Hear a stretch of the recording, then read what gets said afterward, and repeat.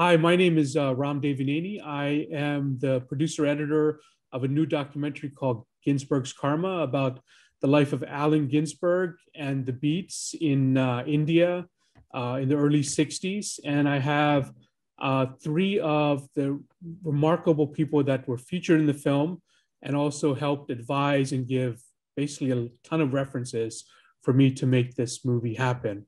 Um, so I'm going to introduce. Well, we'll start off with uh, Bob, and um, Bob. Uh, Bob, of course, is one of the main protagonists in the movie. So, why do you think um, Allen is America's first hippie? And uh, what what did you when did you first discover his work? And also, when did you first meet him? What were your impressions? Oh gosh, Ram, you you know, you, uh, okay, I'll take up the rest of this entire convocation with the, this first answer. Gosh, I love it. You cut to the punchline. I don't know that anyone has ever said straight out, you know, Allen was America's first hippie. But, you know, it's certainly true. And the trip that he took to India is where that movement was was really born. If you can call hippie a movement. I mean, if it's a movement, there's no leader. If there's a movement, it's a sort of like a shimmy shake kind of poetic leap of a movement. Um, but in India is where Allen followed a spiritual path, which is what India does. You step foot on that land, you're on a spiritual path because it's all around you. The Hinduism and the Buddhism and the and and and the all the different religions there, um, as opposed to the drug use of which is also part of the the, uh, the the the hippie ethos, of course, you know. But it was in India where he also came face to face with a kind of global politics, believe it or not.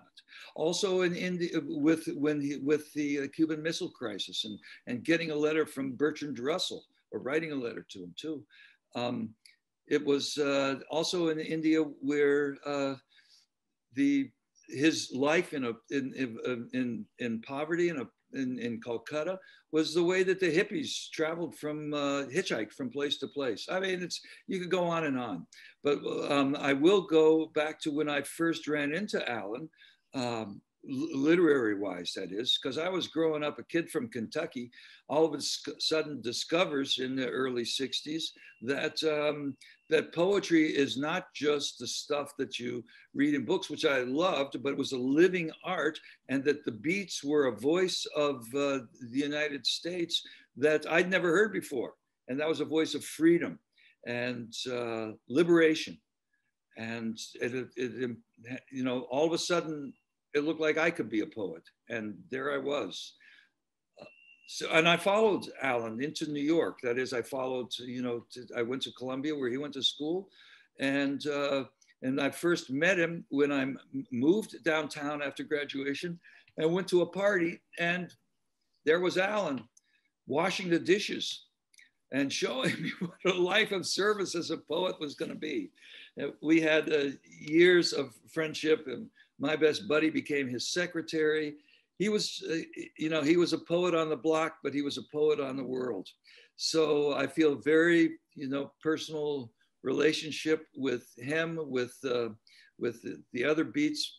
Uh, you know, it's, it's a tiny town, the world of poetry. If anybody's watching this and you're a poet, well, I'm shaking your hand, and and that's our poet's kiss and passport. So I'll, I'll, I'll cede the rest of my time to my compatriots. But if you want to know anything about Allen personally, like his phone number, um, just, uh, you know, email me, bobholmanpoet at gmail.com. Thank you. Deborah, um, we are doing this interview with travel restrictions still in place in most parts of the world due to the COVID 19 pandemic. Um, one of the things that comes out in the film, and more so in your book, is Allen's love of traveling. Uh, what do you think he got out of traveling? And um, as a poet, of course, um, but also if Allen was alive, what do you think he would miss most resulting from this lockdown? Uh, well, I think he was really a genius at travel. Um, and he was not a person who had a carefully mapped itinerary um, before he, he left. Um, and that was very different from Gary Snyder, for example, when who he crossed paths with in India. Gary had it all mapped out where he wanted to go, what he wanted to see, who he wanted to talk to. But Allen was very spontaneous and he traveled and talked to anybody he met and fo- followed their, them into their homes, into their places of worship, um, asked them questions, um, ate their food. And I think this was true in India as well as all the other parts of the world that he traveled in. And um, and I really admire that. And I do feel that, you know, that so much of, um, you know, the wanderlust that, you know, people discovered in the late 60s and 70s um, in America, you know, the kind of budget travel, um, hostel train, train buses, um, you know, the school bus that left uh, London, to, went through Afghanistan. I mean, all, all, of that really came out of the paths that he laid down in in India. Um, but uh, so, but on the other hand, I also know that you know he he he on his window out of his apartment on the Lower East Side was also a place of wonder for him. You know, he took so many pictures of those you know, horrible weed trees and, you know, the fire escapes. So um, he could he could make a poem out of that too. So um, I'm sure COVID would find him his mind as restless as ever. That is that is true. I think there's a lot of photos we've taken of our apartments and of our rooftops and things like that. Yeah. Yeah. Well, Tony, you're he had his great vision in his, you know, walk up apartment at Columbia, looking out at the rooftops and the sky. Um, you know, it wasn't. He didn't have a great vision in India. Um, he had it at at home. Well, that's a good segue into uh, the question for Tony. Uh, Tony, uh, you talk about Allen's uh, Blake vision in the film and how it influenced his work. Um, it's part of Allen's lore. Um, I mean, it's basically mythologized right now. Do you think Allen was aware of his role in history? And um, how do you think he helped to mythologize himself? I think he was aware, absolutely aware of his role in history. And one of the things that I'm I'm I'm I'm I'm always drawn to in his life and work is this remarkable ability he had to balance what was as poets we call it poebiz like showbiz you know he this ability to balance poebiz with a deep visionary consciousness and you know a belief that there is something beyond the five you know the poet's job is to work within the five senses and also summon something from beyond the five senses which isn't always going to be the um, isn't always going to be the, a, a, great vehicle within POBIZ. And he was able to balance both of those. And I think um, that's part of, um, I think that's sort of like is, is, is just, you know, part of the mythologizing energy or mythologizing impulse. Like he, um, he had such a great mind to know um, when he needed to function as a kind of PR person for fellow beat writers and a great mind to know when, oh, now I need to talk, in this interview, I need to talk about the Blake vision because we're talking vision now, we're talking prophecy, uh, we're talking inspiration. Um, kind of like I'm thinking about what Bob was saying about Allen as being a poet in the block, a poet on the block and a poet in the larger world too. Like his ability to be in both of those worlds was, was just amazing. And so I think that was part of the mythologizing, um, you know, and, and how he was able to do it was it was part of how he was able to to um, self mythologize without um, losing artistic integrity. You know, actually deepening his artistic integrity. Um, and you know, part of mythologizing when I think of the Blake vision too is like, you know, he talks about it in the Paris Review interview. So it's like this this prestigious venue where he talks about this uh, this vision this that you know some might call an auditory hallucination others might call you know the real thing um, he just puts it out there on the table, but he puts it out there in a, a venue that's just sort of like a very high premier place of status in Poe biz. And I think he knew that and was aware of that. And, um, you know, I also think of, in terms of mythologizing, I think of the way uh, the energy and the substance he put into um, starting the Kerouac School, helping to start the Kerouac School at Naropa, you know, that required a pragmatic Poe biz sensibility and, um, and also the way they set up the curriculum, it required a true, a real belief in the visionary potential of art that I think was part of the Blake vision for him too. So uh, yeah, I think the vision was is a really good leaping off place to start to think about that kind of mythologizing and how he was able to combine the dedication to art making with an understanding that you know the poet is a is a self out in the world and it, that's you know the, poet has multiple selves one that's out in the world in the Poe biz terms and the other that is um, summoning for ginsberg you know a prophetic lineage that goes back to blake and beyond. So i'm going to throw this question out to everyone and uh, if, you, if you have an answer that'll be great. Um, there's no doubt allen is very representative of the second half of the 20th century um, and how how is he and, and also his work important now? Um, it's all, it's been almost 25 years since he passed away. And what can the younger generation of activists and social justice warriors uh, learn from him? And it can be expanded to other other groups as well. So anyone who wants to take it on, please go ahead.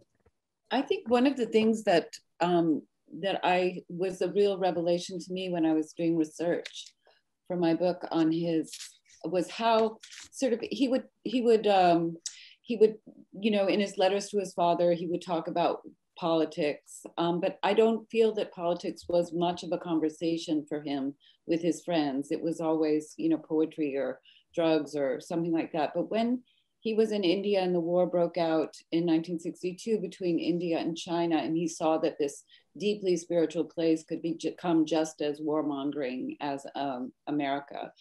Um, and so then he began hanging out with these Gandhians who were decided to do this march from Delhi to Beijing. And it was a performance. And I think mm-hmm. that impacted him deeply. He spent, you know, a couple weeks, you know, sitting with them, walking with them, you know, sleeping with them.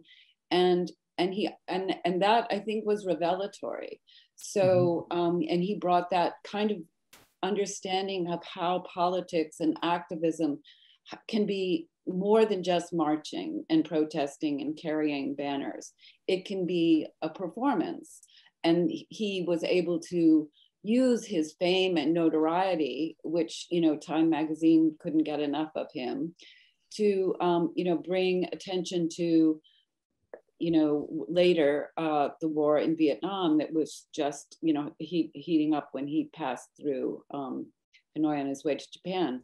So, um, so that that was really, really a, a long term thing. And I think that we don't have often the same kinds of imagination, you know, because, you know, to do just the same protests, the same slogans over and over again, you know, which is why, you know, you can have half a million people show up for an anti-war march and it's a one-day news event or, or not an event at all. Um, so he, you know, if we could just have people that have that more kind of understanding of how spectacle and the press works, you know, that that would be that would really do a lot for for um, you know pushing pushing you know the envelope on politics these days.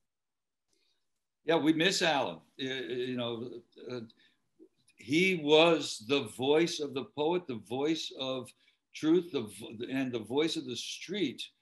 Uh, but he wasn't just talking.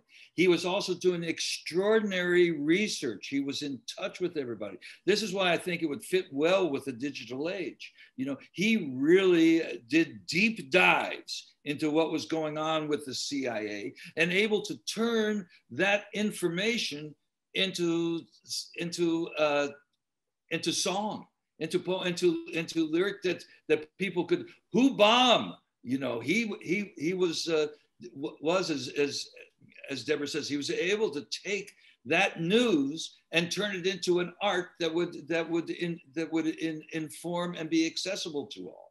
And we really miss that voice right now. You know we have plenty of people talking about issues but nobody has taken nobody has been able to figure out a way to get that public persona. So that's yeah. that's that's one thing that he uh, that, that that alan was able to to do. And just the idea of flower power you know that comes entirely from you know you know marigolds and and and levitating the pentagon and you know just you know merging this sort of spiritual idiom um, with with love and um, and you know uh, press the press. Love and the press. Love and the press. getting love. the attention of the media and keeping them spellbound and i think and using the message oh, across and sort of using that mythologizing sensibility for action yeah and like like you were saying deborah he was more than just I mean, he's marching. He was a, he was a, a, person of political action, but as you were saying, more than just marching in the streets. And I think that's part of the legacy that he can give to uh, a younger generation of, of activists in the 21st century. And and and it's it's that combination of of critical mind and imagination and action. And I think, you know, there was when you really look at his body of work and who he was, it seems one consistent thread is like his belief that the imagination in and of itself was subversive. And wow, I mean, that's like, uh, it's not just using your imagination to increase the profits of an oil corporation by 1% or something, you know, it's like using your imagination to change the world. And um, that I think is, is, is a great, it's a great legacy of his. And it's sort of like what Bob was saying too about, I was thinking of this when, when you asked the question, what what Allen like his research, for instance, on the CIA, like what he was saying about CIA drug running at one point, like in the early to mid 70s, was laughed at as conspiracy, conspiracy, you know, mongering. Well, then it turns out to be true. And so the guy that had this gigantic file of news clippings and you know could just rattle off the facts and figures from his research that wasn't really being paid attention to oh he was right and so you know i kind of think that that that sort of uh, ability to obsessively and i mean obsessive in a good way you know obsessively draw on the subversive power of the imagination to try to change the world um, that's invaluable and i think that can be a role model for where we are now no matter what age you are but especially i think for younger generations of activists i want to tell a little story I was with Allen in 1986 in Nicaragua. We had a, a, group called US Poets Invade Nicaragua. We went down for the Ruben Dario Festival. Joy Harjo was there. I could go down the list. Pedro Pietri, Diane Burns. I mean, it was Alurista. It was quite a gathering, an amazing gathering. But while we were there, we were all, and of course the Sandinistas. This is what you know. The drug running that Tony was talking about was how the the CIA was running. Um, you know, was was getting guns down to the to, the to the government while they were bringing back drugs to the United States to to to, to stultify the the, the neighborhoods. Um, so Allen was, uh, we were primed to, we were working in the coffee fields, we were hanging out with Ernesto Cardenal, and we loved the Nicaragua, the Sandinistas, who were teaching poetry workshops for prison wardens and for coffee workers, prison uh, jail workers. Um, Allen was taking the government to task for the treatment of gay people. And we couldn't understand, Allen, come on, we were their guests he had to teach us this lesson. We were a bunch of young poets on a toot, having a great time with a revolution that was working and had poetry at its heart. But for Allen, it was another teaching moment, another moment for us to understand that uh, you know human rights are basic rights, and I, I, would love him to be talking about this now on uh, with on the anniversary of George Floyd's death, which is today. We're taping it, and uh, because Allen would always bring up these issues in the most uncomfortable situations. And that's where poetry also does its work. You know, poetry is not a language of comfort, you know, although it can be very comforting. That's my story. India is going through a very terrible wave of COVID-19 pandemic.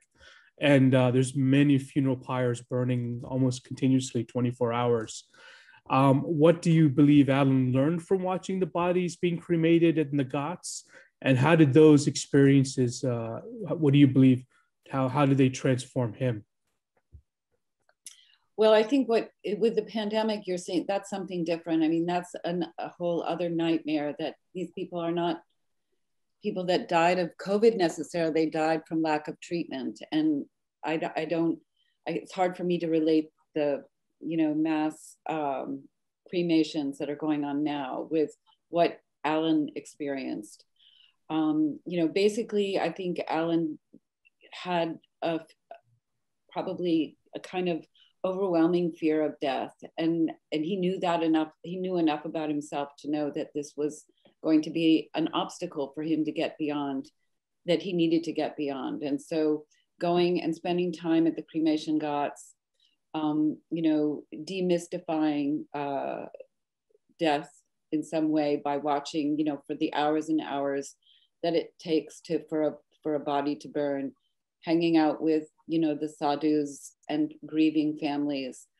I think it helped him you know, and, and also he learned there various spiritual practices, smadhanas, I think they're called, which involve sort of immersing yourself in in skulls and ashes and uh, cremation, uh, cre- the cremation rituals.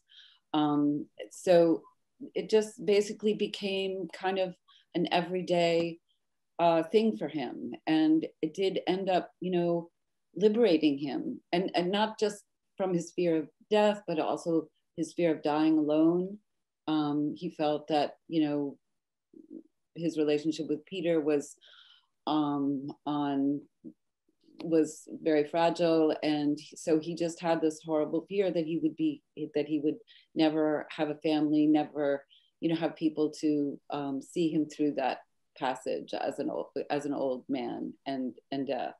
So um, I think he just he just finally got rid of that, and and that it started in Calcutta with his visits to the Nimtala Ghat, and it continued in Benares where a lot of people go to Benares to die. So you know he worked alongside um, you know dying people. He tried to care for them. He wasn't frightened of the kinds of biological processes that you know they would go through in the course of dying. So it was a really very tender thing. And I think Peter also showed Peter Orlovsky um, showed him sort of a way of being there for people who were sort of struggling and mm-hmm. dying, um, because Peter had you know been a, a, nurse, had worked in as a sort of nurse's aide. Um, so I think that they did sort of have that time together in Benares that was very important to them in terms of working with the the people who were dying there. Um, actually, Tony, that's a good good segue from what Deborah talked about. Um, is there a spiritual awakening or reawakening that Allen experienced when he came back from India? And can you kind of explain that? Yeah, I would say it's a, a spiritual deepening. Um, and uh, uh, I think um, um a sort of, I think India helped give him a trajectory that we see through the 60s and into the 70s. Um, I shouldn't say helped give him, I should, it's actually more than just, I'm making that sound so passive. I think India was the breakthrough that enabled him to construct that trajectory. Um, and I think for me, when I think about it, I think about partial, like what, what, you know, the, the breakthrough of India and the spiritual deepening, I think of the role of the body in his poems. It's always been huge and always important, um, liberating the body and liberating bodily desire from you know repressive state systems and and you know just like giving uh, uh, taking care of the body and and and taking care of the body's pleasures was so important in all of his poems leading up to the trip to india of course uh, uh but then i think because of the blake vision and the way that before India, he had been trying to recapture the Blake vision with drugs. And I know, I know I talk about this in the film a bit. I think when he came back from India, there was an increased, a deepening emphasis on the body, but in a different kind of way. The body as something that is um, the vehicle for our spiritual practice. Um, you know that you don't try to you don't try to kill the ego, but you try to summon the ego as a vehicle to go to someplace uh, farther and deeper spiritually. Um, and I think throughout the 60s, this enabled him to be a, the breakthrough in India enabled him to focus squarely on material political issues that you see in like the Fall of America poems. And but to do that without neglecting spirituality and without looking at spirituality as like this transcendent thing that takes us out of a sick world. It's just like, no, this spiritual practice brings us closer. This is how we realize America is falling or, or has fallen. It's through this uh, uh, the spiritual path. And so I think it redirected his spirituality, deepened it. And, you know, in the late 60s, he's still kind of conflating Hinduism and Buddhism. Um, but I think that was more of a function, not of like, not not having a studious serious practice i think it was a function of just having the spiritual energy he did and not meeting not working with a teacher until he meets Chogyam Trungpa Rinpoche in, in uh, 1970 and takes Bodhisattva vows in 72. And I think that's when the trajectory got maybe more, for lack of a better word, focused, although I think it was always mm-hmm. focused. But I think it was India where the breakthrough happened. I don't think we could have Ginsberg meeting Trungpa and taking it as seriously in the same way if it hadn't been for India. You know, there's a lot of work that can be done in here. Once, uh, uh, once the the idea of Allen as the first hippie sort of crystallized itself, all of a sudden it opened up new paths. Deborah, you got more books to write now. Um, this not making it into the film is a lunch that Ram and I had in Delhi with the Sado uh, group of poets. Um, and there we heard a story, we, we heard a poem written by, about another poet, Trilochan, who went, uh, who, who Allen hung up with, one of hundreds of poets in India that Allen would hang out with. Well, this guy was a, a, a, kind of sadhu poet, and he taught some breathing instructions. And then they began to uh, run through the streets of New Delhi and through and, and laughing and playing, no drugs, right? We're doing this is strictly mind work. Okay, and the poem, which is it's about this guy Trilochan, which means third eye, Allen's eye begins to open up. This is the poem I'm quoting now. This isn't me talking. The third eye starts to open. The sweat is coming down. The reality is refracted, not through any kind of drugs, but through the sweat of life itself. And Allen had a vision. Tony, you gotta get on the case. Another vision besides besides the Blake vision happened right there in Delhi, only nobody knows about it. And we got to find that poem. And that moment where Allen was able to not have the drugs, but to have the, the uh, you know, this, this experience through Indian religions, you know, I mean, his, his, his path to Buddhism uh, really is what uh, the Beatles would not have gone to India if it weren't for Allen. Come on. So let's just put it out there and uh, and and the starting of the Naropa Institute and the Jack Kerouac School um, of of disembodied poetics is because of of Allen and Anne Waldman and Trungpa seeing how the religion and the poem weaves together. It's great, Bob. Do you? Uh, I mean, you met the sadhus. Allen met the sadhus and now that you're much older, um, since we started this film, do you want to wa- much older, Ram? Come on. Well, old enough to don't I? Old enough to wander like a sadhu poet. Do you want to yeah, wander? yeah. Go ahead. Just no, no, do you want to? Do you want to wander the earth like a sadhu poet? Is that what the goal is for now? Well, I have found a teacher now, and that uh, you know, but that makes me want to. Uh, to sit more and look at the wall. you know, you can see a lot of stuff there. Well, so yes and no, I guess, as usual. Or as Gregory Corso said, if you're a poet, when somebody offers you to take this thing or that thing, you always say, I'll take both of them. That's the poet's choice, both of them. Because Allen obviously died 24 years ago, and it was the beginning of the internet and the new the internet age, and email was just coming into being. I wonder if Allen ever used email, and if he did, if anyone has the first emails that Allen Ginsberg ever sent, would be actually, I think, quite valuable because you know most of his letters and his writings were all written like poems, and the spontaneous thoughts, which which um, you know, I, I kind of look back and I say Allen was kind of a precursor to email because our language has kind of deteriorated to almost being these spontaneous little tidbits of poems in our emails to get our thoughts out.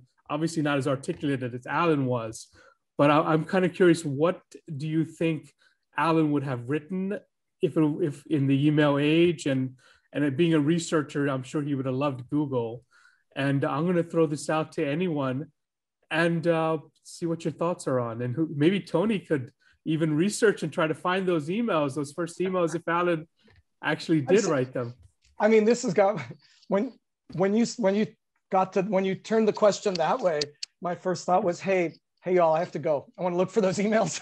uh, I mean, what I'm struck by, like first thing, the image that came to my mind was like when you his correspondence has that, you know, distinctive kind of wavy, bouncy, cursive script that we've all seen so many times in his correspondence. And it would be really bizarre to see an email from him and see it like in electronic pixels on the screen. Like it just, it wouldn't, said the pun is really bad, but it wouldn't compute for me in a way. But, but you know, I think, um, I think had he, had he lived further on into uh, uh, the technological age we're living in now, I think that he would have taken the, um, the intensive letter writing he did with postal mail, and I think he would have just transferred it to email. He would have been he would have been your friend who always sends you really long emails, and they would have been amazing emails. That's my thought.